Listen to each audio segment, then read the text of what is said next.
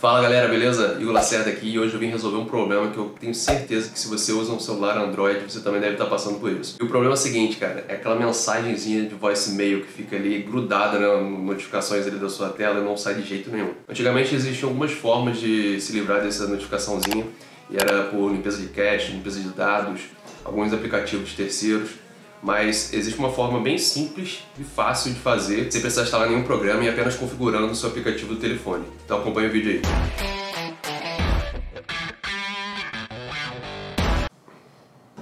Então galera, primeiro a gente vai no celular aqui, né? Como vocês podem ver tá aqui, ó, novo correio de voz. Meu operador é TIM, mas isso não influencia. A gente vai pressionar aqui e clicar em detalhes. Aqui em detalhes a gente vai em configurações de chamada, clicar na tela aqui, armazenamento, limpar cache, limpar dados, ok? E não sei se vocês perceberam, mas já sumiu aqui de cima a notificação de correio de voz. Então é isso aí galera, videozinho bem direto e reto, espero que tenha te ajudado. Se você gostou, já deixa o joinha aqui embaixo, se inscreve no canal se ainda não é inscrito e até o próximo. Valeu!